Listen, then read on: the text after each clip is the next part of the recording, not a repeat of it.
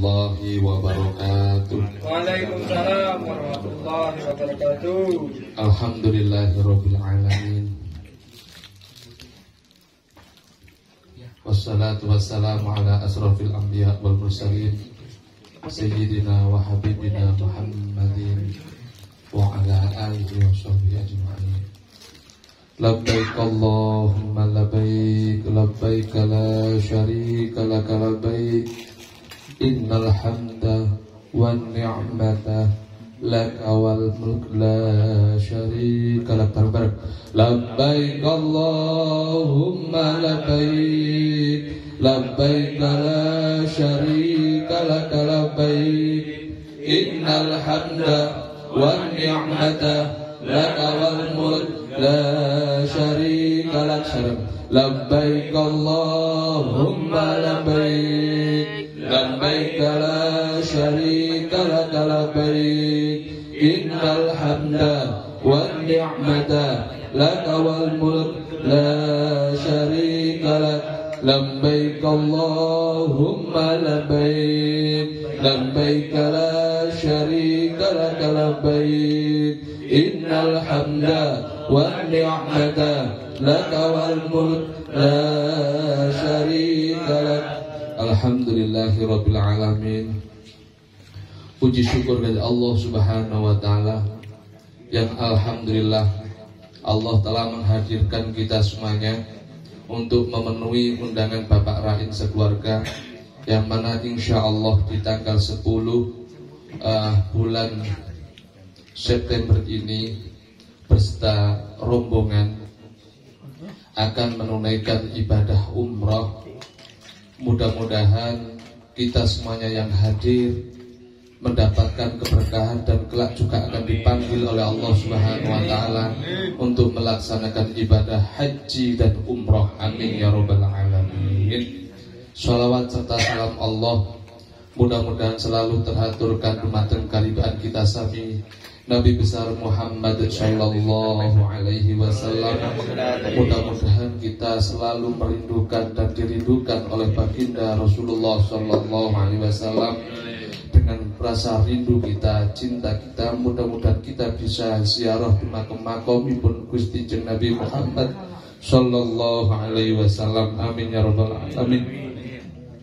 Bapak Ibu hadirin yang dimuliakan oleh Allah Alhamdulillah di saat hari ini kita semuanya dimintai untuk doa pangestu untuk uh, bisa memaafkan baik secara hakul adami Bapak Rain sekeluarga untuk bisa panjang memaafkan yang diinginkan oleh Bapak Rain tadi bilang sama saya tolong sampai akan dan polo-polo ngapuraku doa pangestuku supaya berangkat pulau dan Mekah kalimat iki betul-betul diberi kemudahan oleh Allah Subhanahu wa taala dan mendapatkan ridho dari Allah Subhanahu wa taala dan dicatat menjadi uh, umrah sing mabruran yakni yang di yang diterima oleh Allah Subhanahu wa taala. Insyaallah kalau kita mau mendoakan kepada orang maka kita akan didoakan oleh makhluk-makhluk penduduk langit. Amin. Kita akan didoakan oleh malaikat-malaikat Allah. Maka jangan tanggung-tanggung untuk mendoakan saudara-saudara kita terutama kepada kedua orang tua kita, guru-guru kita dan juga sesama muslim. Jangan sampai kau lupakan untuk selalu mendoakan beliau-beliau itu. Ketika kita mendoakan orang tersebut, niscaya kita akan langsung yang mendoakan adalah para malaikat-malaikat Allah Subhanahu wa taala dan insya Allah hajat-hajat kita akan dikabulkan oleh Allah Subhanahu wa taala. Amin.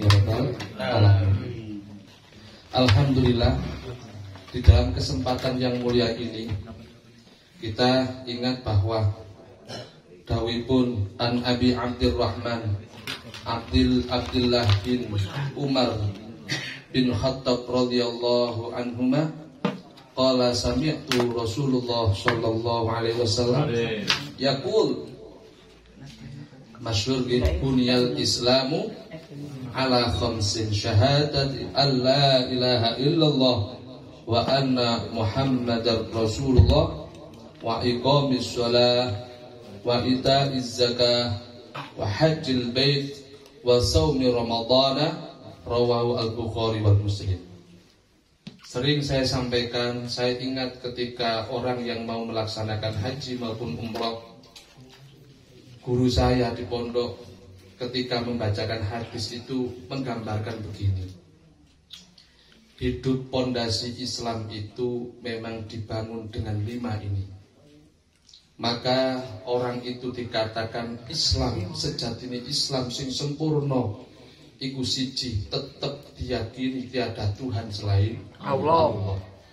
Berarti kalimat tauhid yang ditanam ditanamkan di dalam hati kita di waktu kita lahir procot diazani karo bapak bapak kita diazani telinga kanan dikomati telinga kiri dibacakan yang kanan surat ikhlas surat uh, al muawwidatain kemudian ayat kursi tak lupa dengan membaca inna anzalna fi lailatul qadr dengan harapan supaya kalimat pertama kali yang terdengar kepada putra putri kita ini adalah kalimat tauhid. Dan juga minta perlindungan kepada Allah supaya anak-anak kita semua dilindungi dari godaan setan dan supaya tidak berbuat zina kepada Allah. Nah ini. Terus kemudian kalimat tauhid ini kalau kita belajar tauhid maka lepaskan dulu ini otak kita. Maka tancapkan hati ini iman kepada Allah dulu. Betul-betul meyakini kul huwallahu ahad. Katakanlah wahai Muhammad Allah itu esa. Allah itu satu. Sehingga di dalam hati ketika kita tancapkan barusan kemarin saya sampaikan bahwa Allah itu wujud. Allah itu ada tapi semua perkara yang ada tidak harus kita bisa melihatnya akan tapi hati bisa merasakan keberadaannya.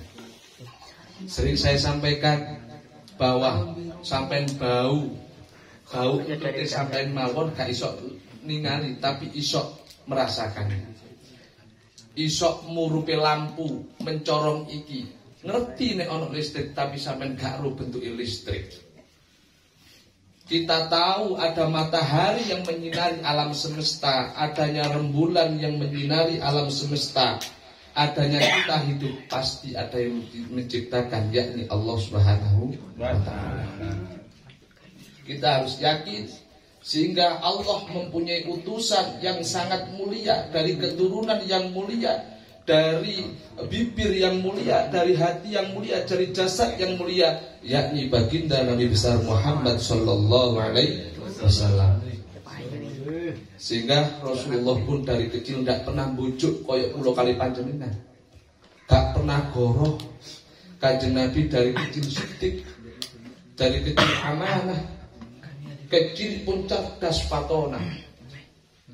Sehingga dengan itulah kena kewajiban untuk balik untuk menyampaikan ini sifat Rasul. Kita harus melekatkan di dalam hati pondasi dasar asyhadu alla ilaha illallah wa asyhadu anna muhammadar rasulullah. Kalau kunci ini kita tanamkan di hati, wis kalau tandingan Podo karo kini bangun omah, bangun pondok pesantren. Nek pondasine kuat, nek pondasine apik di tingkat piro pakah kuat. Jadi kita harus kuatkan iman kita kepada Allah, iman kita kepada Rasulullah. Kemudian wa iqamis shalah kita melaksanakan sholat guru saya menggambarkan as-salatu imaduddin sholat sebagai tiangnya agama Sholat ini adalah bagaikan bangunan tembok-tembok yang didasari tembok-tembok ini, ini adalah sholat kita. Sehingga ketika kita melaksanakan, melaksanakan sholat lima waktu, uh dibangun dalam surga sing api. Setelah itu beliau menggambarkan apa namanya? Zakat, wa zakat, yakni mengeluarkan zakat mengeluarkan zakat itu zakat itu tujuan cek fitrah cek suci.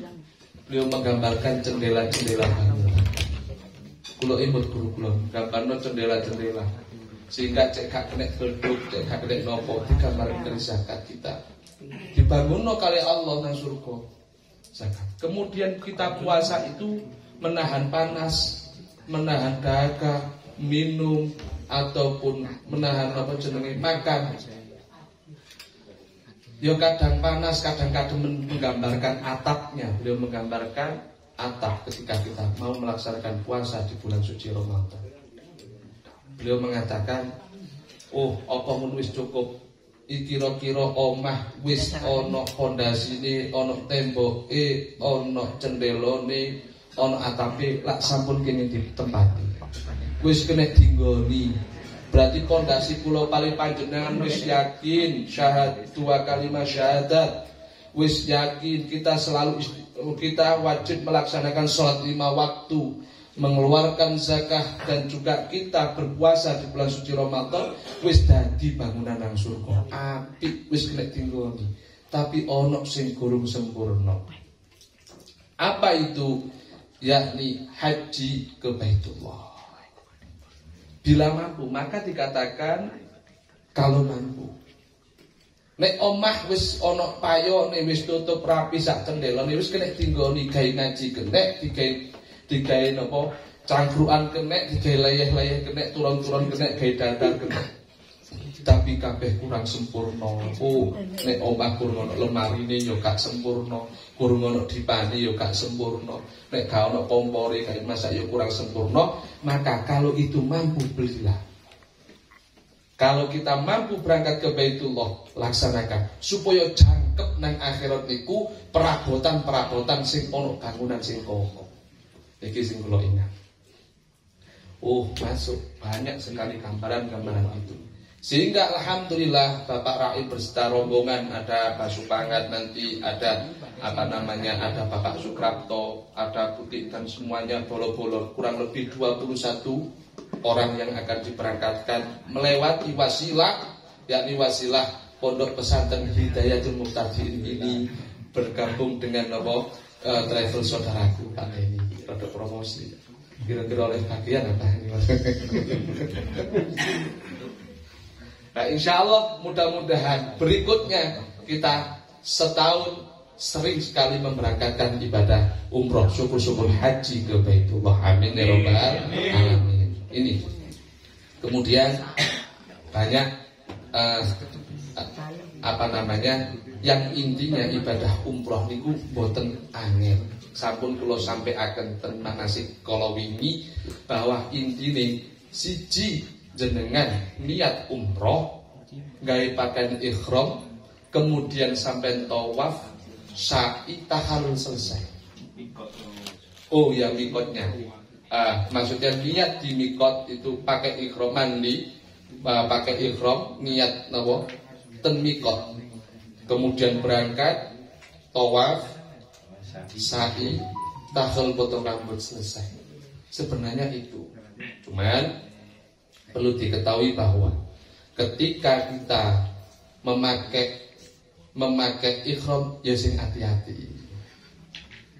Wis dipelajari tapi kadang wasno pembimbinge make penak ngeten iki Bapak Raib ojo demane man dibuka mawon napa jenenge tase dilatih dicoba. Lho saestu jenengan ngenteni eman rek ngenteni budal nang kono melorot tenan. Soal khususnya tiang janger niku gak oleh gaya pakaian ikromnya ndak boleh pakai pakaian yang berjahit maupun ikatan. Yesus sudah disediakan niku cara memakainya. Nah, sing rapet mboten asal dicancang ngeten koyok sarungan sing rapet sing kemarin dipraktekkan siji diselpit nojek rapet. Khawatir kula wonten bola kula nyuwun sewu ten daerah kula Pak Mudin Khatib. Niku kebetulan pas waktu tawaf. Niki niku melorot. Niku niku trios. Trios manten ngoten karena saking yelilane pas haji tapi ini. Pas yelilane haji manten ngoten napa jenenge pakai ikhram sini kidean melaku terus mandek gak iso. Set melorot mutu masya Allah. Akhirnya nang ngarep itu saut pisan tarik ngin kodong nyaut bisa doyan apa mana Allah tapi cuman uh, ini ku cerita Pak Udin kan kula ten Jombang Mas Agung mriku. Iku ngoten maka dipakai sisi muga-muga muga-muga iki kok gak sing lorot. Saiki. Betul, syaratnya perlu diperhatikan Bapak Rahim. Terus insya Allah seperti hanya yang saya ceritakan kemarin jenengan niati uh, sunnah mandi itu di hotel tidak apa-apa. Insya Allah mikotnya nanti ada. Kalau jenengan nanti dari Bir Ali Bir Ali itu dari Madinah menuju ke Mekah. Nantinya kalau dari Mekah dengan umroh Malik boleh ke gini uh, Tanai boleh ke Maklah boleh ke Yalam Yalam atau yang nanti. Tapi yang paling dekat adalah Tanqim insya Allah Oke. Nah di situ perlu diingat Malik ketika tawaf kabeh niku gak oleh batal. Nek lintune batal mboten. Batal. Jadi uh, syaratnya batal uh, nek kula uh, Loh, Imam Syafi'i mereka bukan muhrim selain lawan jenis uh, ada yang bukan muhrim perempuan lain jadi batal karena kono bersentuhan laki dan perempuan gimana jenengan taklid niat ingsun pas saat mudunge niat ingsun kula napa uh, taklid tumut imam maliki Terus mungkin dengan uh, dari akan itu catatan tunggal gak oleh syahwat. Sebab Imam Malik niku betul memegang lain jenis niku buatan batal, tapi catatannya gak oleh syahwat. Mengambil dasar Rasulullah sholat setelah salat mencium Sayyidah Aisyah radhiyallahu anha setelah itu Rasulullah sholat lagi. Ini yang dipakai tendensi dari Imam. Guru pun Imam Syafi'i. Kalau Imam Syafi'i yang bukan mukmin itu diambil dari Al-Quran dengan jalur nasab. Sementing kita ngikut, saya ikut kita. Nah, niku ada beberapa kemarin sudah manasik jadi tidak akan saya jelaskan lagi cek belenger cuman ada beberapa tempat di Mekah itu biasa tiang niku selalu ngejar menjin asal aswad. Nek kula pribadi cukup jenengan tidak isa. Gak sampai melukai orang lain. Karena urusan ini ibadah. Selain ibadah fisik adalah ibadah hati. Percuma ketika kita weser wong desek-desekan lain menyakiti banyak orang kan emang ibadah. Sehingga betul secara lahiriah ampuh hebat Allah tapi orang yang terdolimi sampai dengan hati-hati. Jadi yang intinya dijaga hatinya di pulau. Sehingga syariat mengajarkan cukup isyarah mawon. Bismillahi Allahu Akbar. Allahu Akbar. Allahu Akbar. Dicium. Tidak boleh muni. Tidak boleh. Beda nek nyum bojo. Mak cetok tapi niki bismillahi Allahu akbar. Allahu akbar. Allahu akbar. Bayangaken tok. Bayangaken nyium hajar asfal terus jalan. Aduh, kulo apa iki aku ora iso baca-bacaan niku. Pun gampang. Maca tasbih sakabehane. Subhanallah walhamdulillah wala ilaha illallah wallahu akbar wala haula wala quwata illa billahil aliyil azim. Niku mutak mangke ten rukun yamani rukun yamani itu ini pojoke niki pojok hajar aswad. Ini namanya rukun yamani pojok terus niki hajar aswad. Di antara ini namanya adalah kita eh namanya eh, kita disunahkan untuk banyak-banyak membaca Robbana atina fid dunya hasanah wa fil akhirati hasanah wa qina adzabannar. Pun gampang-gampang. Pun muter ping pitu.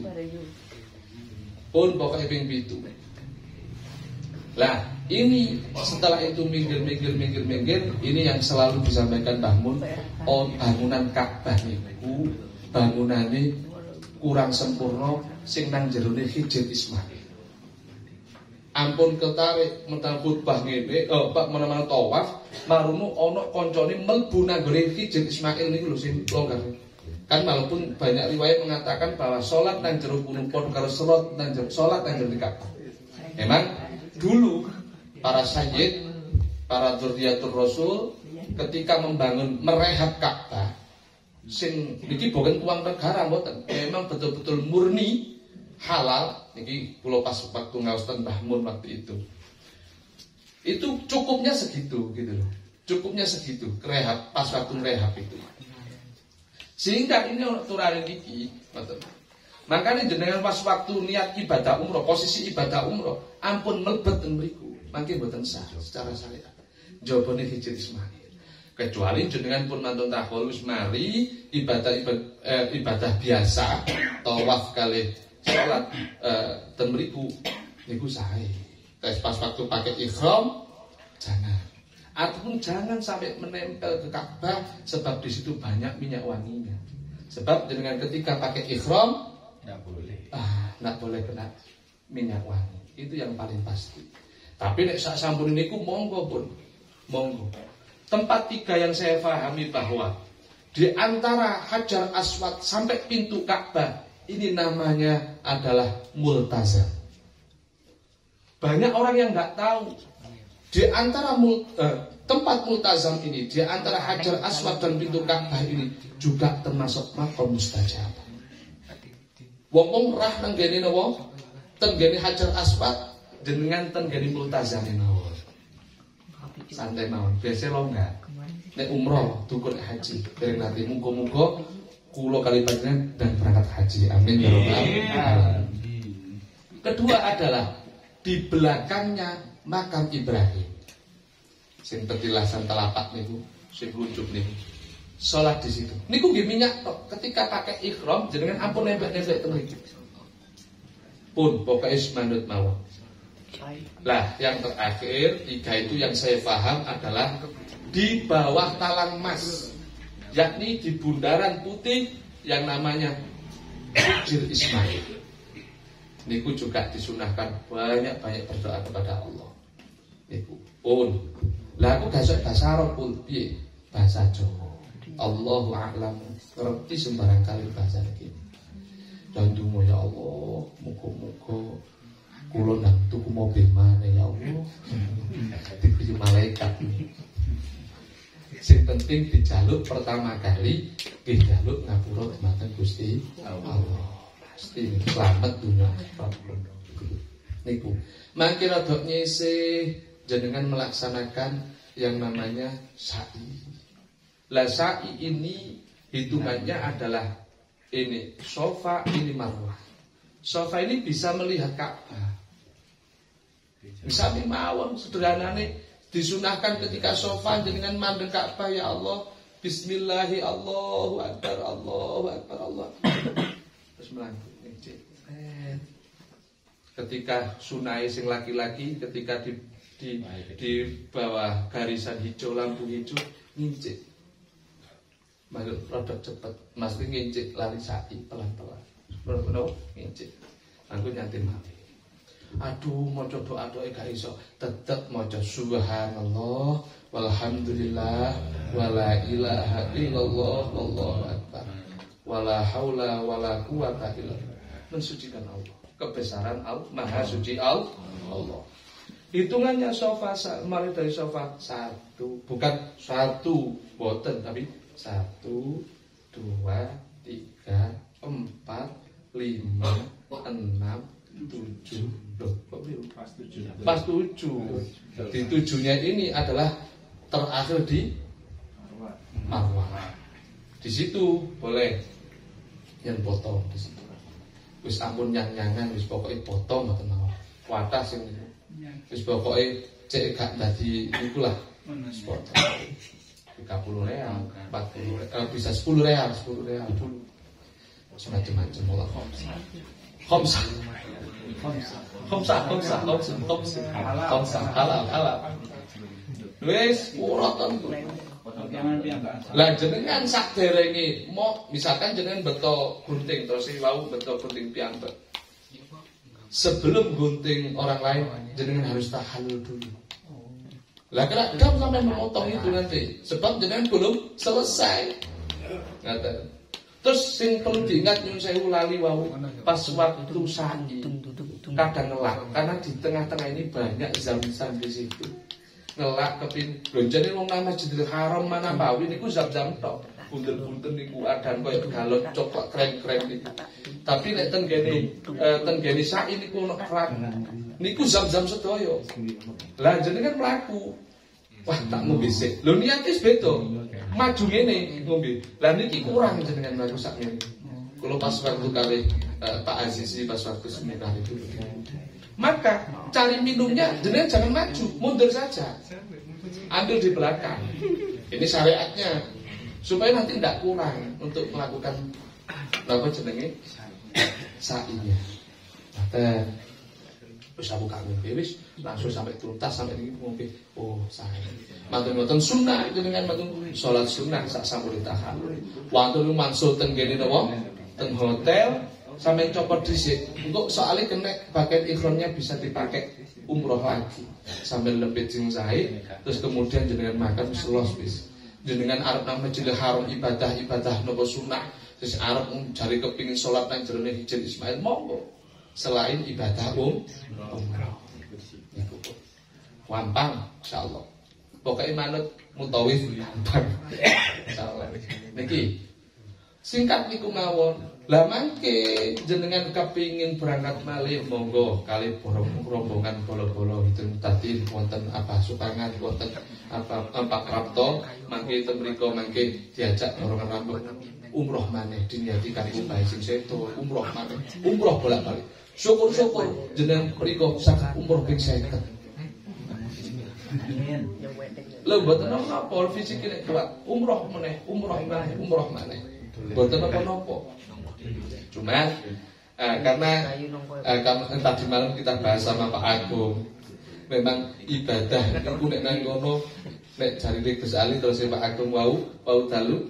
Oh iya bener, kalau jadi gedun betul. Waktu itu saya negor saya Gus waktu itu. Pas setelah umroh ditanyain, uh, sampai umroh ping pinten, nah, travel nek ping loro mek loro, lu lah enak. Lah pripun? Ya mumpung nang kono ya ibadah umroh sing bolak-balik. Kais, Allah Indonesia ndak iso umroh. Masya Allah, mumpung aku tak pernah mengajak umroh bolak-balik. Intinya ibadah afdolnya adalah umroh. Jenengan ketika di Masjidil Haram Sholat ambek tawaf, utama tawaf. Masuk jenengan sholat jenengan tawaf malih, betul apa nopo? Tawaf sunnah tujuh kali. Jenengan tawaf mau. Umek melaku-melaku mawon sembilan umek nopo mojo tasbih. Ngoten mawon mensucikan Allah.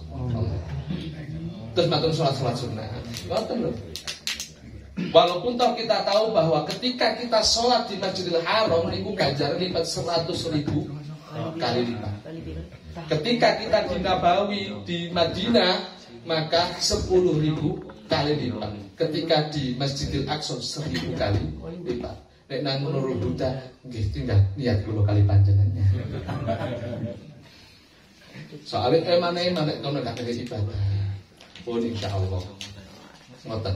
Jadi kenapa selalu saya menerangkan gak banyak doa, gak banyak ini? Sebab yang penting nopo jenengan sakit ngamalaken zikir mensucikan Allah, Allah Maha Suci Allah.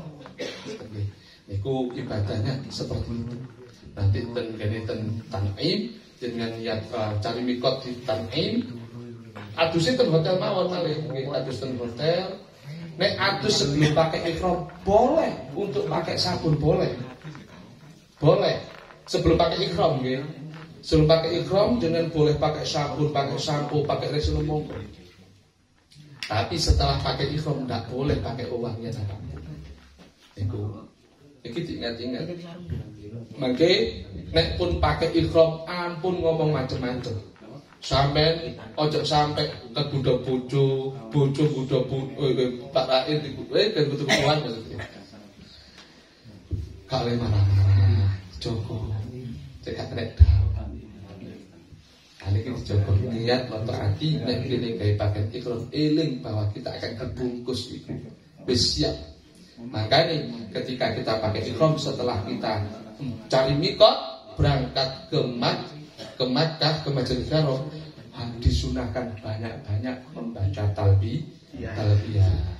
Kongkon kata-kata mau senopo labbaik Allahumma labbaik. Itu sing sak kata-kata bisa niki nggih boten napa ketika berangkat dengan zikir wiritane labbaik Allahumma labbaik labbaik kala syarika lak labbaik innal hamda wa ni'mata lakal mulk la syarika Terus uh, kita tutup dengan talbiah meneh dengan harapan pulau kali panjenengan setuwoyo niki betul-betul sakit dipanggil oleh Allah Subhanahu wa taala. Jadi kula sedikit cerita sedikit cerita ketika saya di Rotoh maupun di maupun di Multazam waktu itu.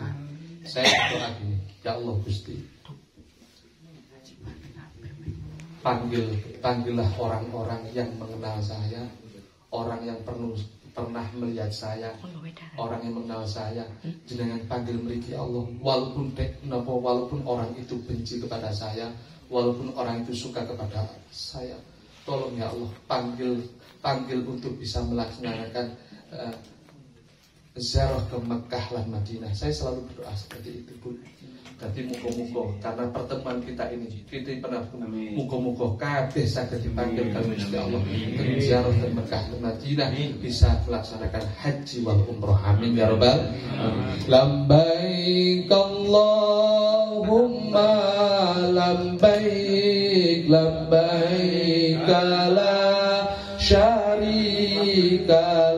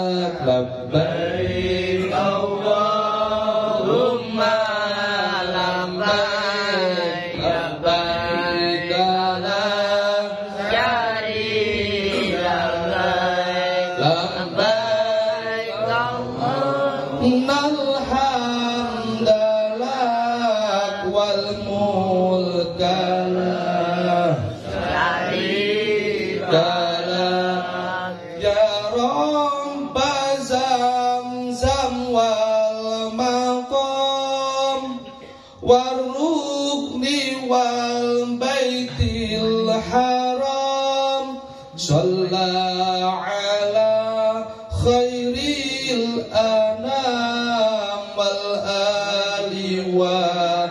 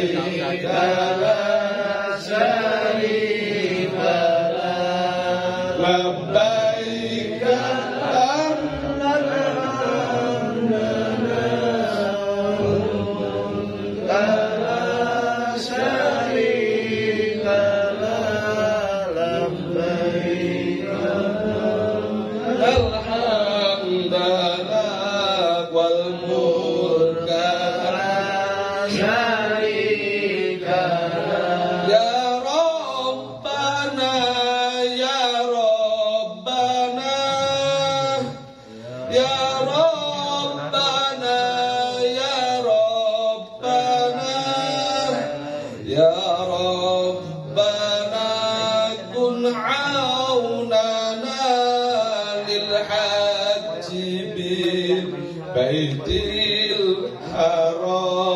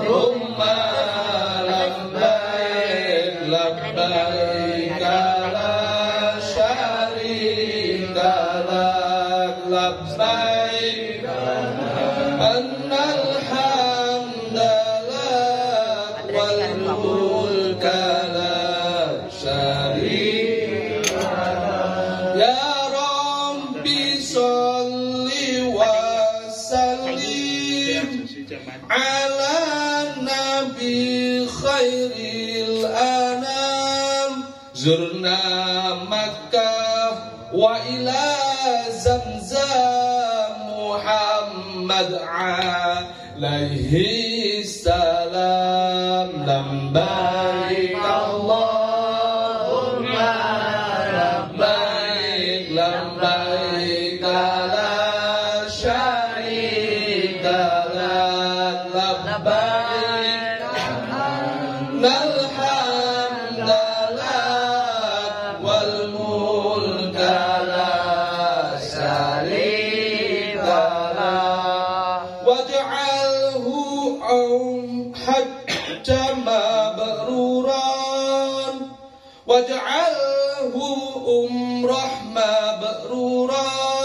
واجعله سعيا مشكورا بجاه المصطفى